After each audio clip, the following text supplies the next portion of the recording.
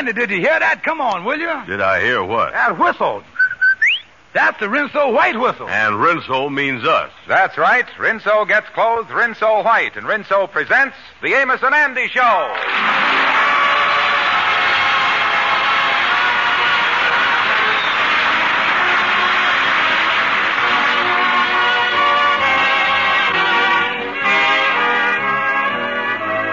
Rinso for a wash that's Rinso what? Rinso for a wash that's Rinso White? Yes, a Rinso White Rinso Bright wash can't be beat.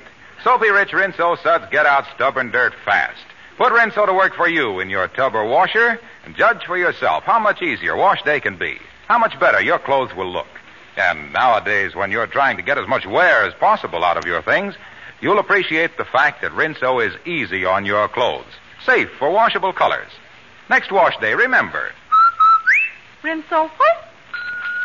Rinso White? Rinso for a wash that's Rinso White, Rinso Bright. And now our stars, Amos and Andy.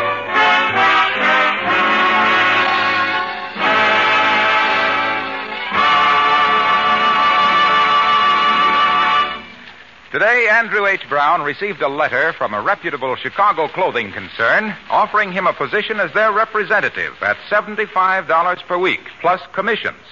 Yes, it was a surprise to us, too, but the old boy has it. And right now he's in his office joyously telling the news to Amos. Amos, I knowed I was going to hit the jackpot someday. Now, there's the letter right there. I really going to have money to live on. Yeah, well, I'm sure happy for you, son, but don't go spending this money now as fast as you make it. Well, I know this much. I is tired of living the way I is. And I'm going to start living like a man that's got success ought to live. I'm going to eat in the best restaurants. Oh, only the expensive ones, huh? Oh, yeah, high class, where the peoples don't blow on their soup. the waiters does it for you. And I'm going to rent me a big house and have servants and everything. Yeah, well, I'm glad to hear that. I suppose you're going to have a valet to wait on your hand and foot. Yeah, and even maybe another one to wait on the rest of me. oh, yeah, I'm going to hire a gardener to take care of the big grounds I'm going to have around my house. Oh, you're going to have a lot of grounds, too. I suppose you're going to have a swimming pool, too. Oh, I'm going to have three swimming pools hot, cold, and loop. You know, Ann, uh, you are starting to spend your money even before you go to work. Yeah, but the job is in the bag, son. Here, read this letter to me. I knows it by heart, but I loves to hear it. Yeah, oh, from the Prentice Clothing Company, huh? Yeah. Oh, I was here to them. That's a high-class concern. Certainly is high class. You can see for yourself they only writ on one side of the paper. Say here, dear Mr. Brown, you has been suggested as the logical salesman to represent our firm in Harlem. Yeah, jump down to the salary part. Oh, uh, here it is. Say, uh, this position guarantees that in addition to commission, you will receive a salary of $75 per week. Hmm, $75 per week. That's sure a high bracket. Oh, man, I can feel Morgenthau's hand in my pocket right now. Uh, then I say here, naturally, we require a letter of recommendation from some citizen of good local standing. Yours very truly, the Prentice Clothing Company, Chicago. yeah, Amos, you as a local citizen in good standing, uh, how about you writing the letter? Well, all right, I'll write one, and uh, let me see what I'll say. Uh, Well, just tell them that I is the steady type. I ain't flighty or nothing, and anything I starts, I sticks to. Tell them I've been doing the same thing now that I was doing five years ago. yeah, but you ain't been working for the last five years. Well, I stuck to it, didn't I? All right, I'll go home and write the letter. Well, I'll walk along, along with you there. Now that that's all set for the job with the Prentice Clothing Company, I'm going over to the lodge and sell everybody I see a suit of clothes.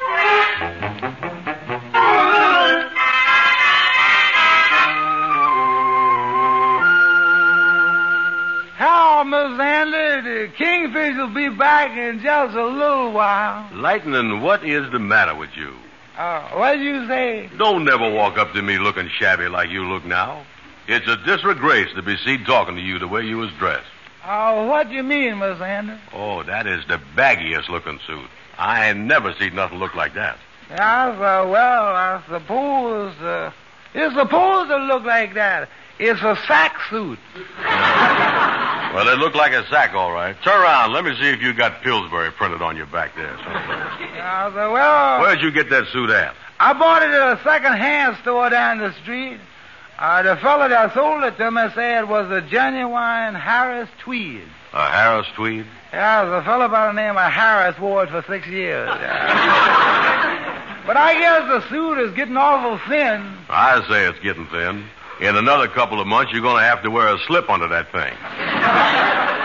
Lightning and I are selling men's suits. Yeah, I said, well, I'll buy a suit from you, Miss Andy. All right. I'll take your measurements. Uh, Lightning, get on out of here.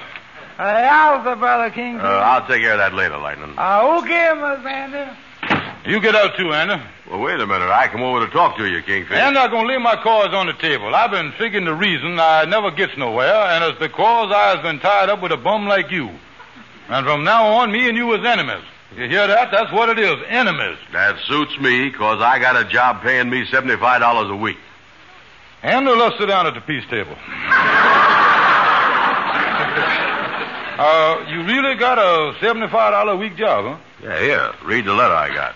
Printer's closing commission. $75.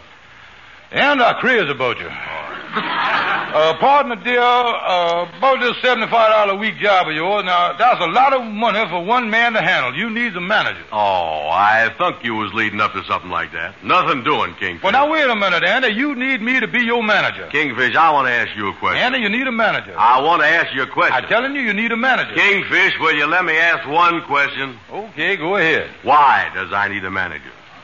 Well, now that you asked the question and that's over, let's get on with the thing here. Now, uh, as your manager. Listen, Kingfish, I found this job myself. It was offered to me, and I'm keeping it for myself, and I don't need no partner or no manager. Yeah, but Andy, we has always been partners, old pal. We has always been in business together. Work together, fail together. Think of the beautiful bankruptcies we has had together. Kingfish, you ain't cutting in on this thing. It's mine. My boy, you is tired. You don't know what you was saying. You gotta rest. And unlatch yourself. Now you sit down here and stop worrying. Just leave your mind a blank, and I'll be back in three hours with a contract all in your favor.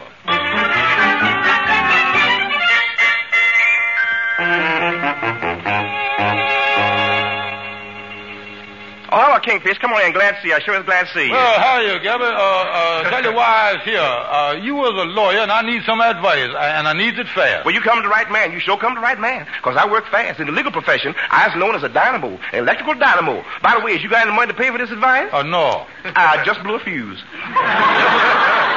Well, now, now look here, Gabby. The advice that, that, that I want uh, don't amount to much and won't take no time. Sorry, but I was too busy to work for clients don't pay. I'm much too busy. Why, I just finished a big case today. You do? I sure did. I defended a man that was accused of stealing a crate of oranges, a whole crate of oranges. I plead his innocence. I plead his innocence because I knew he didn't do it. Yeah, well, did he pay you? Sure he paid me. Sure he paid me. In fact, uh, here, have a glass of orange juice. Uh, no thanks, Gabby, but tell me, is, is you gotta have money before you give me any advice? That's right, Kingfish. You gotta have two dollars cash, two dollars cash. Uh, cash, uh, won't you take my check? Sure, if you wrap the cash up in it. Uh, uh, Gabby, uh, will you settle for half a buck cash? Kingfish, you got yourself an attorney. Okay, okay, Gabby. Now, now, here's what I want to know. Uh, suppose you know the man that was going to get a nice job paying him $75 a week. I figure how to get that money away from the man. I sure get away from him. I sure get away from him. I don't know what road you took, the high road or the low road, but you sure got to Scotland before me there. Uh, uh, look, Gabby, if this man is making $75 a week according to the law, is there any reason why I can't get him to sign a contract telling me 50% interest in his salary? Oh, that's legal, all right. Yes, indeed, that's legal. But you got to be careful that you don't run up against the Pure Food and Drug Act. The Pure Food and Drug Act. The Pure Food and Drug Act, how you fit that in there? Well, you was guilty of pure chiseling, and because you was taking the food out of his mouth, the first act of the police will have, the, have you drug in the court. That's the Pure Food and Drug Act if I ever had it. Sure is.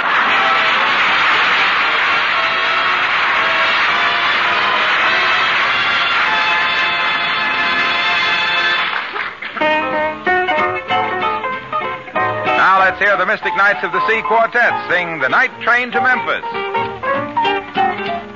Take that night train to Memphis, take the night train to Memphis. And when you arrive at the station, Oh, I'll be right there to meet you.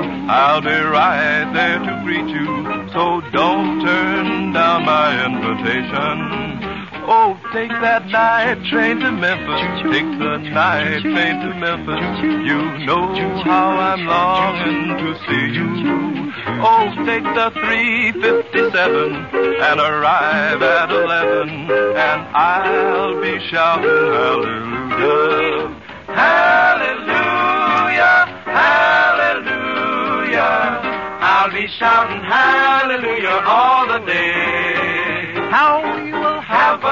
A jubilee down in Memphis, Tennessee, and we'll shout hallelujah all the way. Now when the train comes along, when the train comes along, I will meet you at the station when the train comes along. Well, watching the trains come in, watching the trains go out.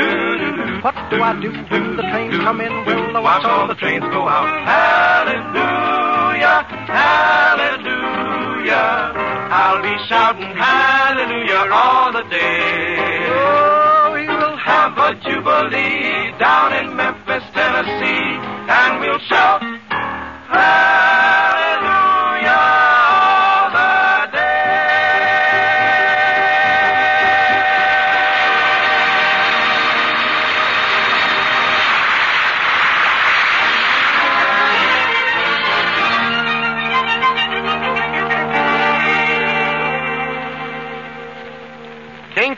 say you told Andy to meet us here at the lodge hall, did you? Oh, yeah, Henry, he ought to be here in a minute. And uh, I want you to know that I let you in on a nice thing. I, I just couldn't raise $25 by myself. Yes. Well, here's my twelve fifty. Good, and there's mine. That gives us $25 to buy half interest in Andy's salary. Mhm. Hey, wait a minute. I hear somebody coming now.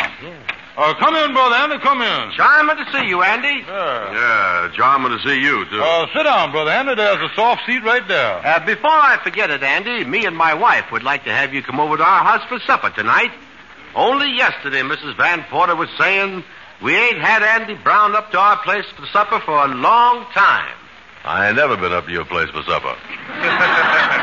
Has it been that long? Yeah, well, uh, we can get to the social stuff a little later, boys, but now let's sit down here and talk. Uh, and uh, as you done thunk about what we was discussing before, uh, maybe me and Henry can be your managers. Yeah, I thunk about it, and I still don't see why I need no managers. Fellas, y'all are just wasting your time. Now, you know, Andy, if you keep up this attitude, well, we liable to refuse to be your managers. How would you like that? I'd like it. I knowed you'd see our way. now, let me read you the contract I got you. Now, this is the most important thing I got you. This put everything in writing so you ain't gonna have no mistake about nothing. Yes, and this is all in your favor, Andy, because you is the helpless type and you need some shrewd managers. Yeah, that's right, Andy. Now, let me read the contract here. Say here, Andrew H. Brown, hereafter referred to in this document as Helpless Brown, agrees to appoint as his joint business managers uh, Henry Van Porter, hereafter known as Shrewd Henry, and uh, George Kingsley Stevens, hereafter known as Even Shrewder Stevens. now, how do the contracts sound so far, Helpless? Uh, just keep reading. Yes, go on. Uh, how does it sound to you, Shrewd? Oh, it sounds just fine. Even shrewder? Uh, they say here, the said managers agree to pay the said Andrew H. Brown $25 in cash. And on top of that, said managers agree to break their backs managing, helping, advising, talking to, and talking with Andrew Brown in return for which he agrees to pay them 50% of his salary as long as he got a job. Furthermore, Hey, hey, wait. Something, something done whizzed past me there.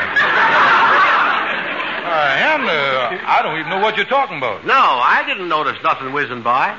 Yeah, let me finish reading the contract. Furthermore, Brown gets the lion's share of the weekly check of $75, and all that the managers get is a measly $37.50. Furthermore, Hold it, hold it, hold it. Something else done whizzed by me again. I never see the contract go into high gear like this one do. well, and uh, I think that gives you an idea of what a fair contract is. Now, me and Henry are going in the other room and copying on the typewriter right quick so we can all sign the thing. Yes, see you in a minute, Andy. We'll be right back. Them two is always trying to pull a fast one on me. I think they're chiseling in on me. I, oh. Well, how is you there, Andy? Come in, Amos. Come in. Yeah, I didn't uh, say. Uh, wasn't that the Kingfish and Henry running down the hall there a second ago? Yeah, I guess it was all right. Yeah. Uh, say, Andy, I was just over to your office and this telegram was there for you. I thought I'd bring it over here. Telegram, huh? Let me see it, Amos. Yeah, must be something important. Yeah, it is. Yeah, what do it say? Read it. It's from the Prentice Clothing Company in Chicago. Listen to this. Huh? We sent you an offer of a position by mistake. Due to an error, we wrote to you instead of Andrew B. Brown. Oh. Please disregard our letter. Hope this hasn't inconvenienced you. Prentice Clothing Company. Well, Amos. Oh, gee, Andy, that sure is bad news, ain't it? Yeah. You know, even if they did make a mistake, they could have given me a chance at the job. This way, I'd been fired before I was even hired. Yeah, they could have give you a chance, all right. Oh, yeah. On every other job I done had, before they fired me for being no good, they at least give me a week to prove it. Well, it's just one of them things, Andy. Yeah, that's a bad break, all right. It's sure going to be a surprise to Kingfish and Henry. You know, they want to be my managers and take a percent of my salary. Oh, if they're pulling that stuff again, don't they ever stop trying to chisel? Well, it don't look that way. Somebody ought to teach them a lesson. Yeah, you're right. Somebody ought to, uh, say, wait a minute. Yes, sir, you got an idea there, Amos. Teach them a lesson. That's the stuff. And you know something? What's that? I is going to be the teacher. Well, Andy, I don't know what you're going to do, but I sure all for it. Well, hello, Amos. Hello. Well, how's you there, Amos? Hi, fellas. Well, here's the contracts all typed up. Yeah, well, we all set to close the deal here. Now, uh, how about it, Andy? Well, uh, tell you, boys, I've been thinking it over. That whizzing stuff in the contract there, that didn't amount to much, did it? Oh, no, no. It didn't amount to nothing. You ain't heard nothing whiz there, Andy. Yeah, and you guys wouldn't take revenge of me, would you? Oh, absolutely not, Brother Andy. No. Oh, no, we're your friends. Everything is in your favor. Yeah, and you need a couple of managers bad, too. Yeah. I guess you're right, Kingfish. Well, give me the money. I'll sign the contract. Oh, great. Put it there and a shake hands. Great. Yeah. Now, here is the $25 in cash. Yeah. Well, look at that green stuff there. Yeah, now just sign it right there, Andy, right there where the dotted line is. Just put your name right on Yeah, there. okay, okay. Wonderful. Look at that. Andy, congratulations. This is the smartest thing you has ever done. Kingfish, you ain't kidding.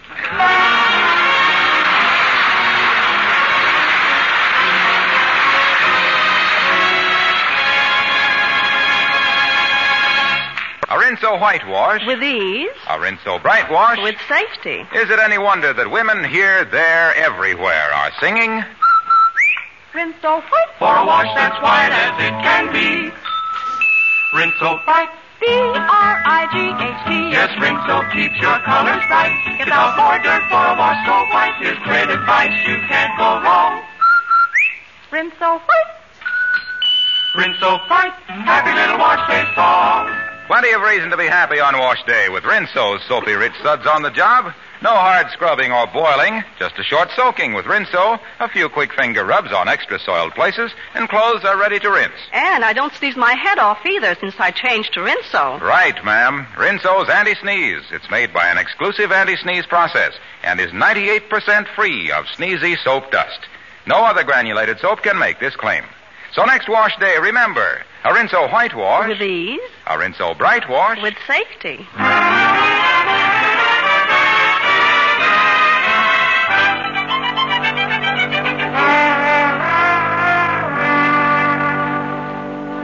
Well, come on, Henry. Let's drop into Andy's office here. Well, it doesn't look like he's in. Yeah, well, we wait for him. Uh, maybe he's out trying to sell some suits. Sit down. Uh, by the way, Kingfish, just what is we supposed to do as Andy's managers? Oh, nothing. Just collect 50% of his salary, that's all. Oh, we got a sucker here, Henry. Yes, I wonder if our friend Andy has took any orders yet. Yeah, well, uh, that I don't know. Uh, well, wait a minute. Let me peek in his desk drawer here. That's where I would keep him. Yes, uh, take a good look in there. Uh, wait a minute. What is this? Henry, What is it, Kingfish? Listen to this. It's a telegram to Andy. Say here, we sent you an offer of a position by mistake. Due to an error, we wrote you instead of Andrew B. Brown. Please disregard our letter. Hope this hasn't inconvenienced you. Signed Prentice Clothing Company. Henry, Andy ain't got no job at all. Good gracious, our money. The $25 we has been slugged. Hey, wait a minute now, Henry. Look here. I, I just thought of something. Amos opens a lot of Andy's mail when he ain't here. Maybe Andy ain't seen this telegram. Maybe Amos put it in the drawer. Yes, yes, that's a possibility, all right. Uh, what must we do? Well, now look here. Before we tackle Andy, I think that we ought to try to sell our interest in Andy to somebody so we can get our $25 back. Yes, uh, but who? Well, we has got to search for somebody that's a sucker, some guy that ain't very wise. We has got to search for... Hiya, fellas. The search is over. uh, say, Shorty, glad you dropped in here now. Tell me this, uh, how would you like to manage Andrew Brown and get a percent of his salary? Now, that's the best way in the world of getting yourself a lot of money for doing nothing. Oh, no, that, that ain't no good, Kingfish. I, I, I don't want nobody breaking their back for me. Yeah, I, I can see that you don't know nothing about economics. Uh, who don't know nothing about e- e- e- e- uh, uh, what you said? well, well, who don't? But the, the idea when you, when you get a man working for he, he starts fluctuating with the Social Security. Yeah, what, what, what Social Security got to do with it? Well, what's it got to do with well, Social Security? Uh, Well, well, what has it got to do with it? Well, if a man works for you and he, he bring in some money, you, you start you, you start getting social, and, and as soon as you, you, you as soon as you get some money, your your relatives come and stay with you, and, and they they they they they, they, think they got so, uh, security that you get uh, that, that's Social Security. That's what it is. But, Shorty. I know, I know, but if we if we do what you say, how are you going to handle the supply and demand? And, and you know what that does, don't you? Yeah, what do it do? Well, you get uh, that ain't a fair question. Yeah, well, well, answer it. Go on, go on, answer. Well, according to the figures released by the Federal Construction Committee, which is the subcommittee of, of the Federal Bureau of Internal Combustion, and, and, the, and, and, and the subsidiary of, of the which uh, that answers your question right there. You see. Me this. What has all this got to do with economics? What's it got to do with it? I, I, I just told you. The, the, the, the thing is, what I mean, you, you see, but when, hmm? Look, Shorty, if Andy works and you get half his salary, that is economics. Now, even the government down in Washington is back of it. Oh, don't tell me about Washington. I, I knows the government. I, I know the man that runs the government. Uh, now you, you, you take that fellow in the cabinet right down there. Uh, what's his name? The man with the white hair. Uh, the man with the white the white hair. Uh, Uh, McNutt? Oh, I wouldn't say that about him.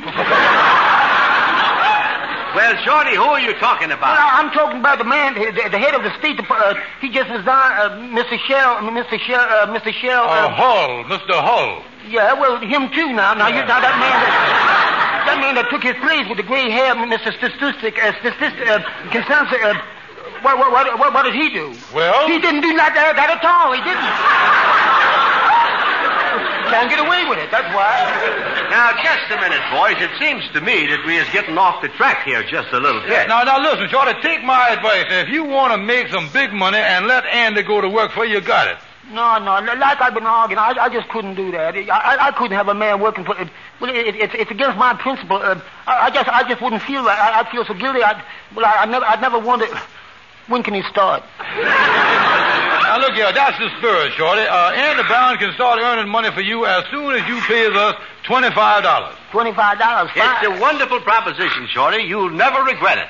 Just give us the $25 and we'll consider the deal closed. Oh, sure. I, I, I can give you the cash right now. I, I, I got my, I got my checkbook right. Uh, I, I think there's enough money in the cash register. We, we, we can go over to the bank. Uh, I ain't got a dime.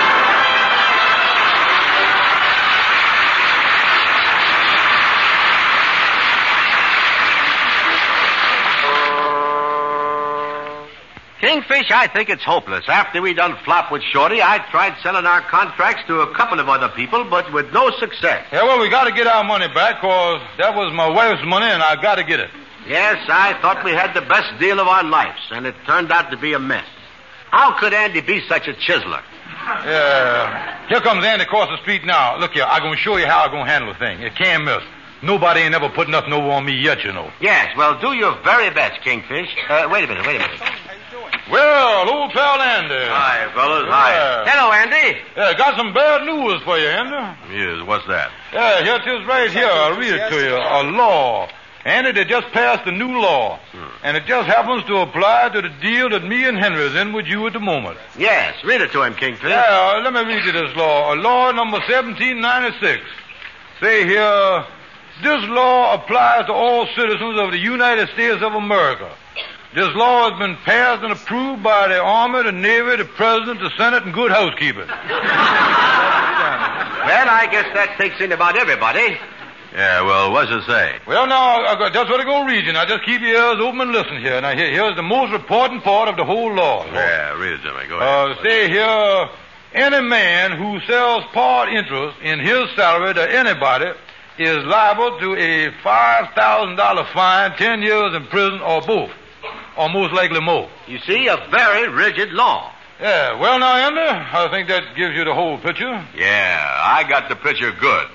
You two chiselers has been sticking your nose in my drawer and you found out about that telegram. You has been chiseling all your lives. And I took your $25 because I wanted to show you that two can work at the same game. Yeah, but Brother Andy. Yes, Andy. Why, Well, we... wait a minute. Yeah, yeah, Andy, we only wanted to help you. Oh, why don't you stop crawling? By trying to chisel me, you done chiseled yourself. You see there? Can't you take your lesson like a man? Oh, now, brother Andy, wait just a minute, will you please, Andy? now, look, Andy, I, your old pal, the Kingfish, don't forget now, we has been brothers in that great fraternity, to the Mystic Knights of the Sea for years, Andy. Sure, yeah. I didn't mean it, Andy, honest, I didn't. Hmm. Andy, I gotta have that money back. It belonged to my dear, sweet, gentle wife. And if I don't get it back, she'll murder me, Andy. All right, all right, crybaby. Get up, get up. Here's your $25 back. And you can tear up the contract. Oh, that's it, Andy. But just don't ever forget about this in case you ever gets any more ideas to pull a fast one. Yeah, all right, Andy, I'll tear up the contract right now. Here it is. Brother Andy, I can't thank you enough. Yeah, and believe me, Andy, this done really learned me a lesson. I really deserves. I'll never try to chisel nobody again. Me neither, Andy. And never again will ever I try to cut in on anything of yours as long as I live. Yeah, well, uh, come Oh, in. yeah. Come in, Amos. Come in. Hi, fellas. Uh, Andy, here's another telegram that came for you at your office, and when you wasn't here, I've been out looking for you. Oh, thank you, Amos. Uh, what is it, you know? Yeah, well, read it, read it. Huh? Yeah, well, it's addressed to me, all right. From the Prentice Clothing Company. It's a, we informed you by telegram that our letter offering you position was a mistake. We have since received such a strong letter of recommendation from Amos Jones that we have decided to give you the job as our Harlem representative. Well, then, I just happen to have another contract. Get away from me.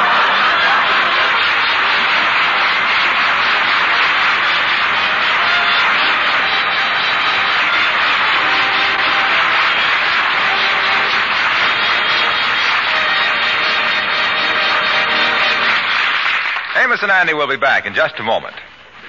For an easier wash day, get Rinso. Rinso's soapy rich suds get out stubborn dirt fast. Get white clothes, Rinso white. Washable colors, Rinso bright. And ladies, a Rinso white, Rinso bright wash is something to be proud of. You'll find Rinso a big help with the dishwashing too, and with all the soap and water jobs around the house. And now, here are Amos and Andy. Well, Andy, I don't understand it. You got that job with the Prentice Clothing Company on Tuesday, and here it is Friday, and it's all over already. Well, you know, Amos, like I say before, every job I has had, they give me at least a week to prove that I'm no good. Yeah. This time I outdone myself. Only took me three days.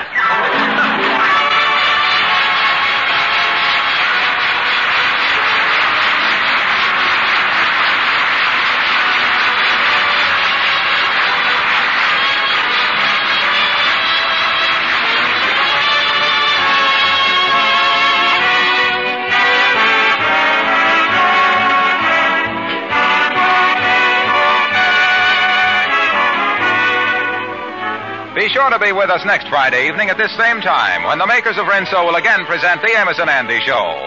Next week, the Kingfish and Andy test their artistic abilities by designing an Easter hat for the Kingfish's wife. So don't miss the fun. This program is broadcast to our armed forces all over the world. This is Harlow Wilcox saying good night to all of you from all of us. Say, uh, you're being mighty careful about those red ration points, aren't you, ladies? Well, don't forget that you can get extra red points by turning in your used kitchen fats and greases to your butcher. He gives you two red points plus four cents for every pound. Save all waste fats. And when you have a full can, take it to your butcher right away for extra red points.